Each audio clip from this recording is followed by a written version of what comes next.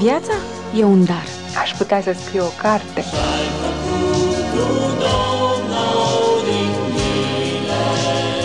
Asta da viață. Dar eu ce să fac cu viața mea? M-am cam săturat de viața Dar viața e asta. frumoasă. Se mai poate schimba ceva în viața asta?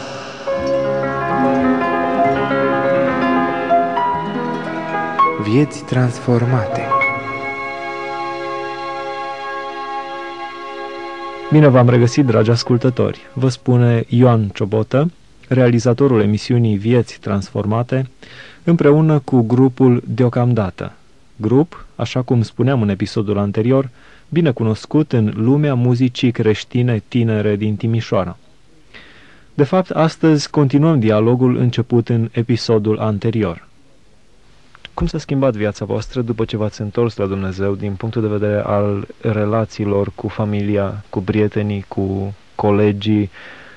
De fapt, ai spus destul de mult că ai continuat să-i saluți pe stradă pe prieteni. Eu cred și... că ei ar trebui să, spună, să răspundă la întrebarea asta, adică familia, prietenii și colegii, pentru că eu știu ce vreau să trăiesc și cum vreau să mă comport față de ei, dar ei știu cum o fac.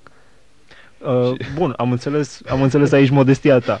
Uh, cum, ce-ți spun ei ție? Deci, totuși, ceva îți spun. Nu știu cât de multă sinceritate există din partea lor. Presupunând că sunt sincer, ce îți spun? Au văzut o schimbare în viața ta?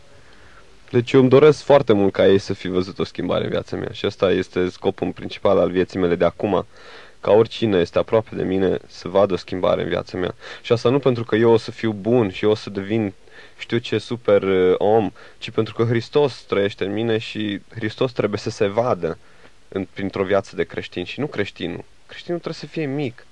Așa cum Ioan Botezător a spus, eu trebuie să descresc ca el să crească, adică Hristos să crească.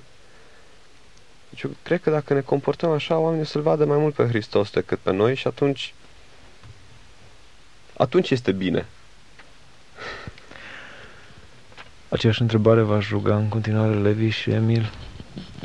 Cum s-a schimbat viața voastră din punctul de vedere al relațiilor cu familia, cu prietenii, cu colegii? Păi, uite, chiar azi vorbeam despre chestia asta la... cu prietenii la biserică și... Deci, efectiv, spuneam, ei, ne dăm exemplul meu din familia mea unde deci am reușit să ajung la, la un dispreț atât de mare față de tatăl meu, de pildă. Ceea ce mi se pare destul de grav. Da, deci din cauza, eu știu, nepăsării lui sau, eu știu, capricilor lui de artist, încât efectiv îl negam în față și îi spuneam nu vreau să devin ce ești tu și, și nu-mi place. Și na, eu știu că asta l-a dărâmat enorm de mult, dar nu puteam să-l îmbrățișez, nu puteam să-i spun te iubesc sau să, să-i să sărut. Sau, deci nu există așa ceva. Și când m-am întors la Dumnezeu, a fost un moment când am citit uh, capitolul unde vorbește de dragoste și unde spune ce înseamnă dragoste adevărată, care atât, atâția ani am crezut că e total altceva. Și, și când citeam că dragostea e îndelung răbdătoare și dragostea nu pismește și nu se îngânfă și nu se mândrește și înghite totuși și acoperă totuși. Și...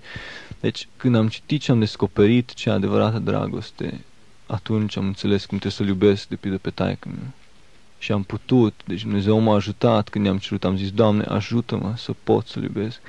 Și s-a întâmplat, deci am putut să-l îmbrățișez, am putut să-l mângâi, am putut să fiu lângă el, să, să-l ascult, să...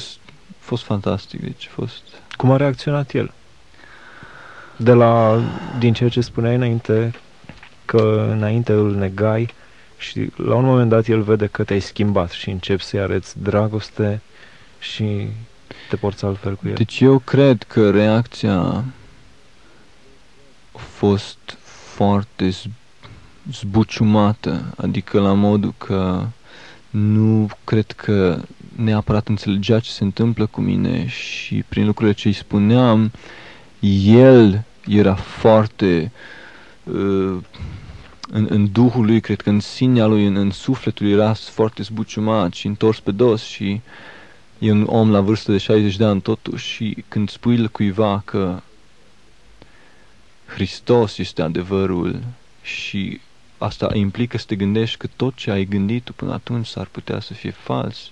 Deci pentru asta e un zbucium enorm pentru un om de vârsta asta și eu cred că este o luptă acerbă între rău și bine în lumea asta, între diavol și Dumnezeu, dar eu cred că diavolul va fi învins, fiindcă am văzut cum, de pildă, tatăl meu a vrut să se ucide după aia, de vreo două ori. Și odată după ce și-a tăiat venele, și a stat două zile așa, n-a murit. Și noi l-am găsit numai peste două zile și n-a murit și îmi permit să spun asta public și dacă aude el vreodată, nu, sper să nu se supere, dar asta știu că a fost Dumnezeu acolo. Și că îl ține și că arată. Eu te aștept, eu mai am răbdare, eu te mai iubesc, eu te iubesc și acum și mai mult și și întotdeauna sunt pentru tine și te vreau și te vreau și te vreau și am murit pentru tine. Deci asta cred că îi spune prin tot ceea ce trece prin el.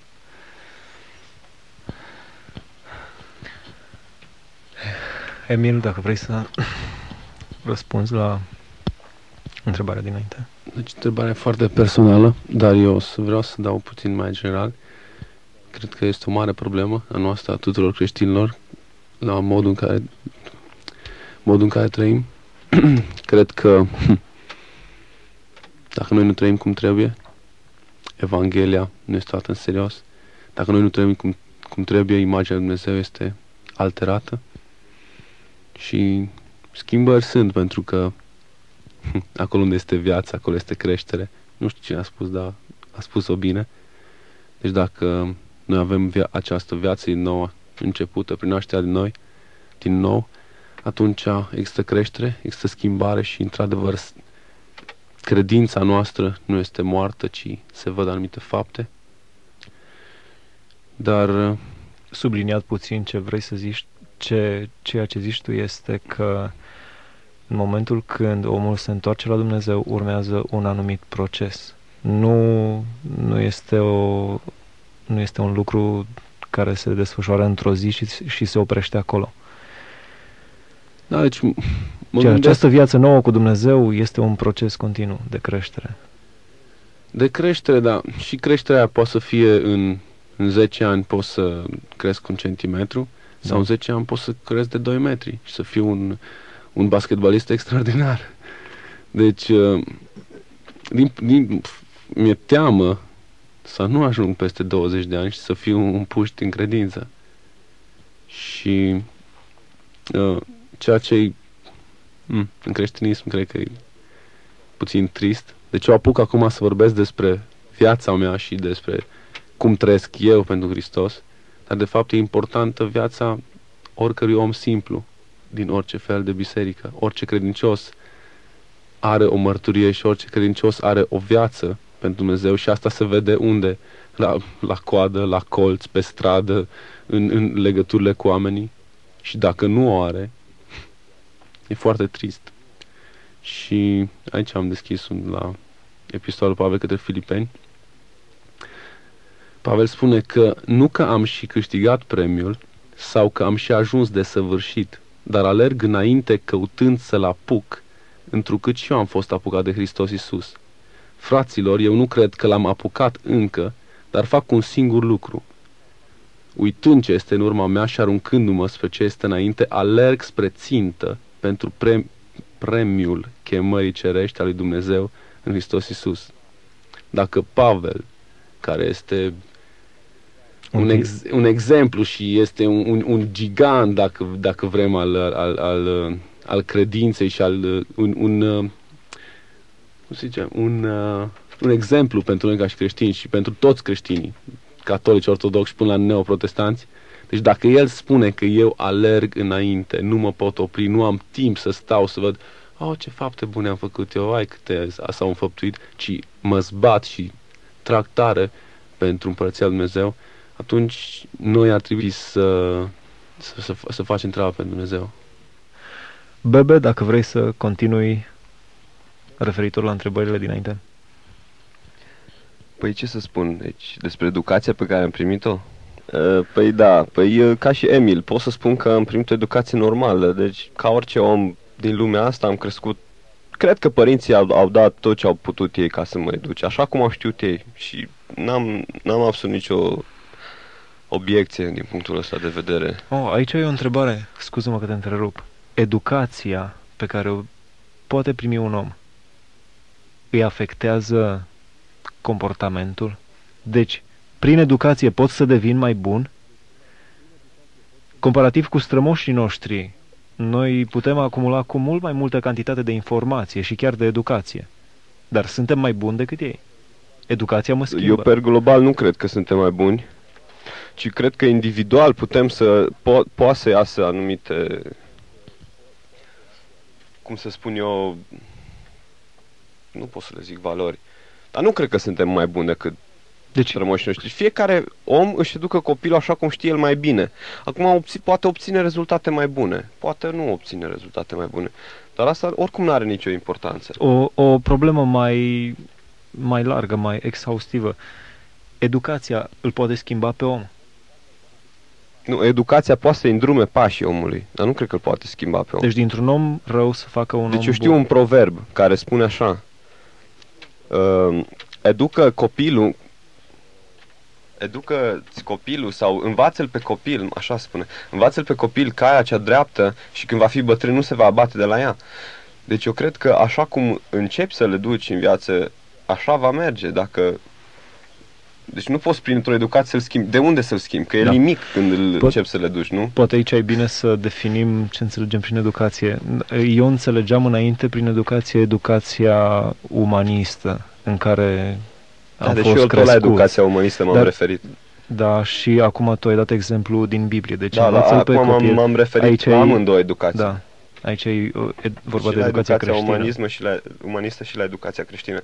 Da. Pentru că eu cred în foarte tare în universalitatea Bibliei și eu cred că se aplică acest Da. proverb.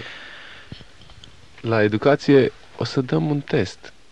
Bebe Roșca, căsătorit, am un copil. Levi la fel, eu încă nu am. Da, O să, o să vedem cum o să ne creștem copiii și cum vor trăi copiii în urma educației pe care noi vom, o vom da. Și vorbesc acum din punct de vedere a educației creștinului, a, că- care o dă un creștin copilului său. Putem acum să teorii și filozofii și cărți și titluri și fel și fel de discuții. Ne vedem la test. Pe sigur, toate se văd după roade, deci nu e... Deci așa cum părinții Da. mei au vrut ca eu să nu fac greșelile pe care le-au făcut ei, așa am eu intenția ca prin educație, ca copilul meu să nu facă greșelile pe care le-am făcut eu. Deci o să dau tot ce pot și sper ca copilul meu să aducă roadă în, în sensul acesta. Roadă bună.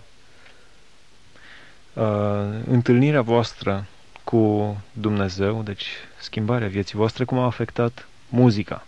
Asta, asta e un capitol important în viața voastră, dragi ascultători, cum vă spuneam la început. Invitații noștri de astăzi sunt membri ai unui grup de muzică bine cunoscut în lumea muzicală tânără din Timișoara, grupul Deocamdată. Deci cum a afectat întâlnirea voastră cu Hristos muzica pe care o ascultați și pe care o cântați? Păi după ce ne-am întors la Dumnezeu, cred că toți am făcut uh, ceva foarte puternic. Las-o jos. Nici o muzică, aruncă toată muzica ce ai ascultat înainte, nu cânta, cine știe dacă e bine, cine știe dacă e rău. Deci a fost, cred că, un moment, un moment de reevaluare a trebuie să cântăm, nu trebuie să cântăm, trebuie să-ți folosești talentul sau trebuie să folosești darurile spirituale, să eu știu. Și în sensul ăsta cred că toți am, am oprit-o o vreme. Așa e sau n-am oprit-o? Am oprit-o tot. Și după aceea când îți dai seama că totuși ă, a cânta la un instrument sau a cânta din voce este un dar de la Dumnezeu și când îți dai seama că mult, mult din Vechiul Testament sunt cântări, deci dacă cei dinaintea ta au de la Dumnezeu, au văzut că este bine să cânti și să cânti lui Dumnezeu și pentru Dumnezeu, dându-se seama de chestia asta, atunci am început să cântăm. Dintr-o altă sursă, cu un alt scop, dar încercăm să folosim acest dar. Din câte știu eu și sunt destul de profan în muzică, orice melodie, orice cântec are o melodie și un mesaj. Ce anume s-a schimbat în ceea ce cântați voi? Mesajul, melodia sau amândouă sau niciuna? Da, pe Și de o chestie foarte interesantă, ascultam, deci este o trupă, o fel de muzică progresivă cântă ei, se numește Iona, Iona. Și ei cântă, au o piesă, se numește, deci refrenul, mi-l amintesc, este unde ți este comoara, acolo ți este inima. Mi se pare fantastic adevărul, adevărul ăsta. Și eu asta am realizat după ce m-am întors la Dumnezeu. Deci mi-am dat seama că deci cântam, am cântat vreo șase ani înainte de a fi creștin și o făceam din plăcere și deci o vroiam, fiindcă credeam că e bine și frumos și pentru oameni și că dau ceva bun, dar după ce m-am întors la Hristos mi-am dat seama că inima mea, comoara mea era muzica. Și acolo mi era și inima. Iar acum mi-am dat seama că comoara mea trebuie să fie Hristos și este acum Hristos. Și acolo trebuie să-mi fie și inima chiar dacă mă cânt mai departe.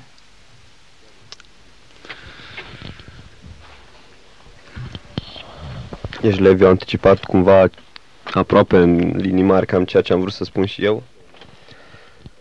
Deci eu am luat o pauză, deci după ce m-am întors la Hristos, am luat o pauză și am fost foarte hotărât să nu mai cânt niciodată. Deci știam că am făcut rău ce am făcut, adică am făcut rău. N-am făcut rău în sensul că am dat în cap sau am furat sau am omorât pe cineva, dar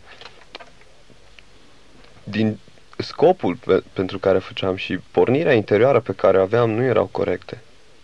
Și mi-a dat seama că m-am înșelat pe mine însumi singur și mi-era și rușine de mine și de atitudinea mea și de dorința mea pe care o aveam înainte. Și am renunțat efectiv, deci am zis că nu o să mai cânt. Poate n-am negat în inima mea deci n-am, n-am dus-o la, la extremă, dar eram hotărât că o perioadă cel puțin nu o să mai, nu o să mai, mai apropii de muzică. Apoi Dumnezeu a făcut ca să vreau din nou să folosesc, să-mi folosesc talentul pe care mi l-a dat, dar cu alt scop și pentru alt și din altă pornire interioară. Și exact cum a zis Levi, deci unde ți este inima, acolo este și comoara sau unde este comoara ta, acolo este și inima ta și dacă faci din, din ca comoara ta, care este Hristos, să fie, adică inima ta să fie acolo unde este comoara ta, adică unde este Hristos, atunci cu această motivație am început din nou și Dumnezeu ne-a adunat împreună și să dea Dumnezeu să lucrăm în continuare pentru El și nu pentru noi. Mi-amintesc că într-una din melodiile voastre mesajul este din Evanghelia după Ioan, capitolul 3, versetul 16. Fiindcă atât de mult a iubit Dumnezeu lumea, așa Bebe, tu ești cu textele, așa Eu sunt cu textele. Deci tu le cânti. Deci așa o fi, că prea le, o zici exact. Eu nu știu exact dacă e de acolo. Deci te da. cred pe cuvânt acum, nu?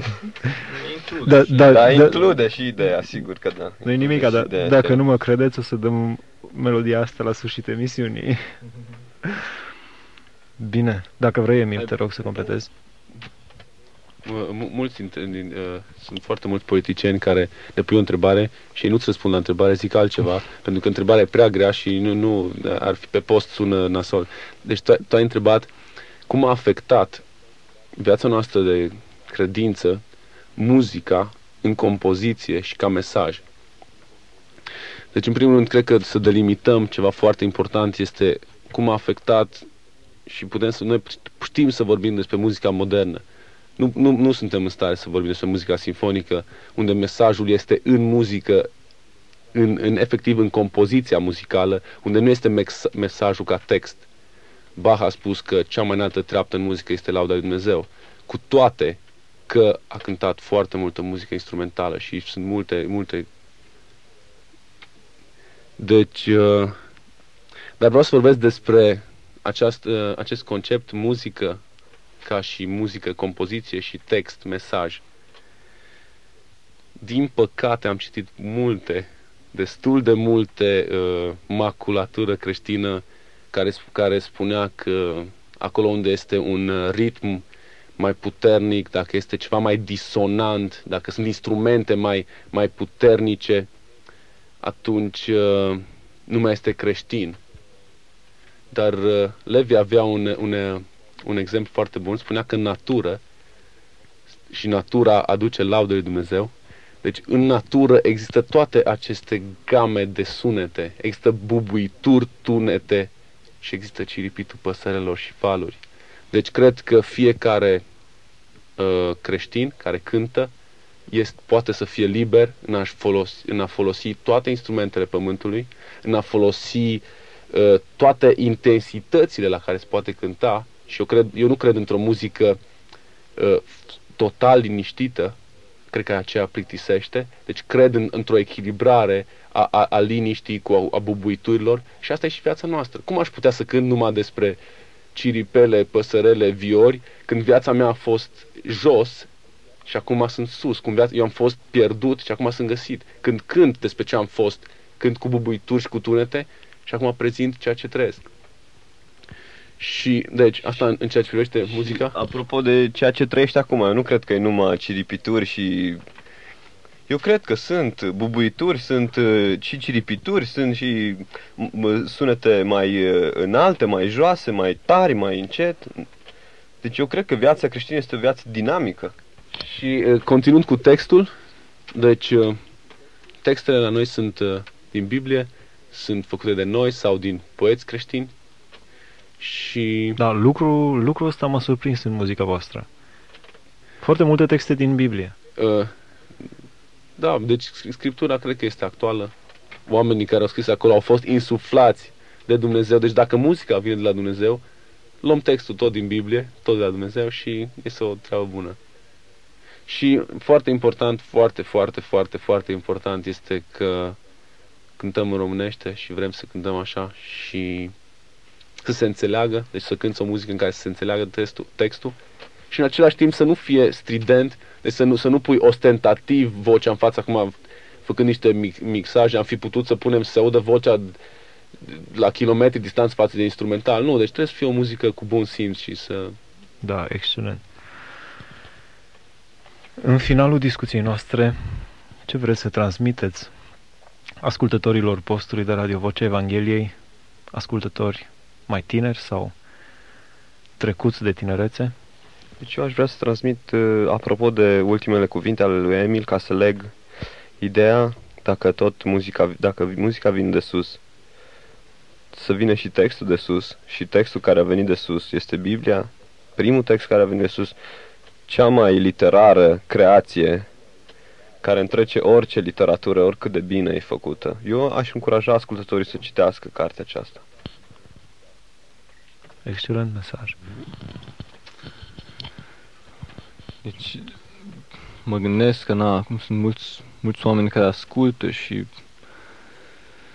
își pun fel și fel de întrebări sau, eu știu, nu știu ce să gândească despre noi, dar eu ce aș dori să nu se gândească la noi, ci să ia puțin timp acum eventual și să se gândească despre ce am vorbit și să se, despre cel care am vorbit. Asta mi-aș dori cel mai mult. Dragi ascultători, nu cred că se... Emil, scuză-mă că te întrerup. Nu cred că este un lucru comun ca unii oameni care au ajuns totuși pe o treaptă destul de înaltă din punct de vedere al artei, să nu arate despre ei înșiși. Pe mine mă surprinde faptul că Bebe ne-a spus despre Biblie, Levi ne-a spus despre Hristos și niciunul n-a spus despre el însuși. Emil, te rog. Trebuia să ne, poate trebuia să ne lauzi la sfârșit. Vreau să spun că noi suntem micuți și nu, nu contăm noi așa de mult și din nou să, să ne uităm. Sunt mulți, mulți, mulți la care putem, la care oamenii se pot uita, mulți credincioși care nu se văd, mulți credincioși care nu sunt pe scenă, care nici măcar n-au scris, care nu o să ajungă poate niciodată la radio și totuși ei sunt scriși în cartea vieții. Și primul în Împărăția Lui Dumnezeu a fost un tâlhar și un hoț, un nimeni. Căci cum ar putea oala să se laude cu ceva înaintea celorlalte oale și să-l uite pe olar care a făcut oala respectivă și care i-a dat întrebuințarea potrivită la momentul potrivit. Deci ar fi foarte groaznic din partea noastră să facem așa ceva. Dragi ascultători, aici se încheie emisiunea noastră de astăzi și mă bucur pentru concluzia pe care băieții au tras-o la sfârșitul întâlnirii noastre. Nu omul contează, ci Hristos. Mulțumim și la revedere!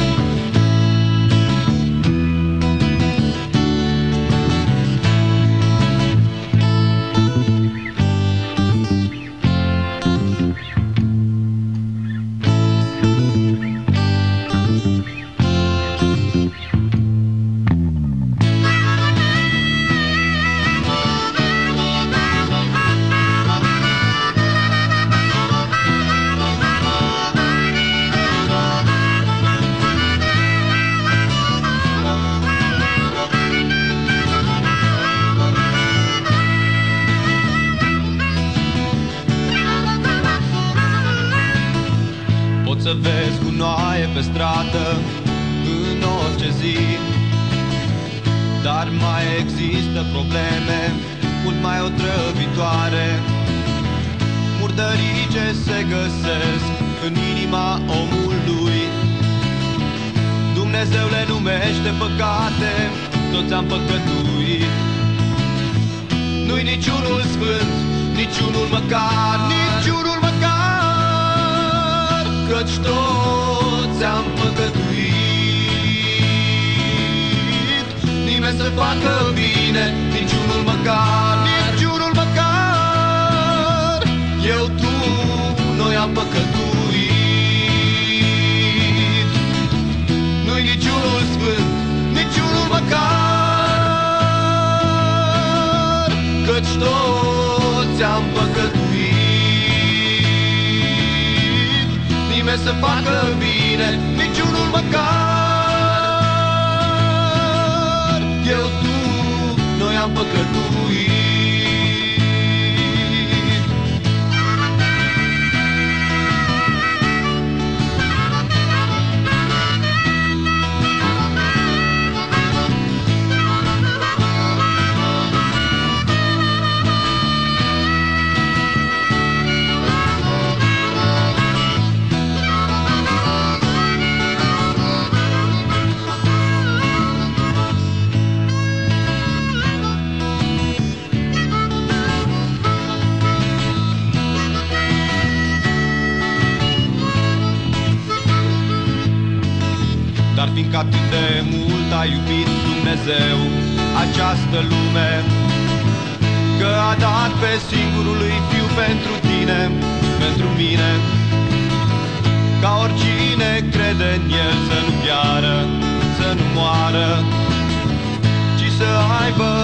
Viață veșnică.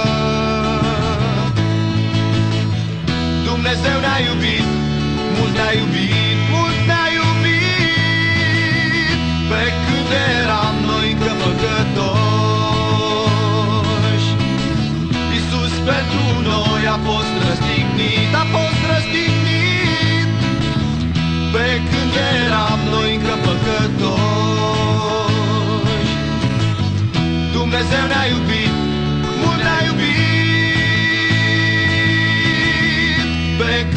eram noi încă păcătoși. Pentru noi a fost răstignit. Pe când eram noi încă păcătoși. Ca oricine crede în El să nu piară, să nu moară Ci să aibă viață veșnică. Ca oricine crede în El să nu piară, să nu moară să aibă viață veșnică. Viața mea, tu mi-ai schimbat, Iisus. Viața e un dar. Aș putea să scriu o carte. ai făcut tu, Asta da viață. Dar eu ce să fac cu viața mea? M-am cam săturat de viața Dar viața e asta. frumoasă. Se mai poate schimba ceva în viața asta?